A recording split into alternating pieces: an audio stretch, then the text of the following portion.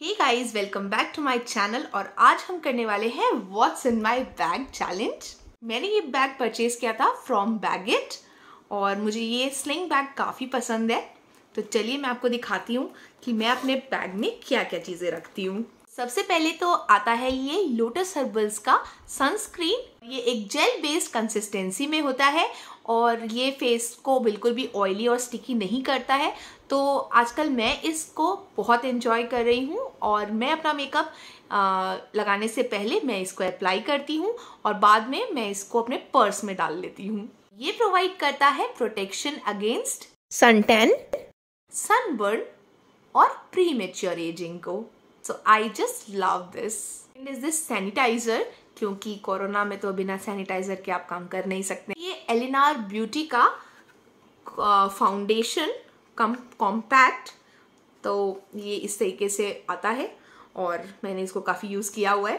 तो गो अगर आपको अपने फेस पे ऑयल लग रहा है तो आप इसको हल्का सा डैप कर सकते हैं और ये आपके फेस पे स्मूथ फिनिश दे देगा।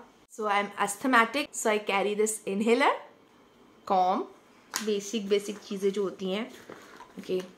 मच्छरों से प्रोटेक्शन के लिए फैब्रिक रोल ऑन मास्क कुछ परफ्यूम झंडू बाम अगर हेडेक हो जाए तो kajal lip balm lipstick red lipstick few cards credit cards some money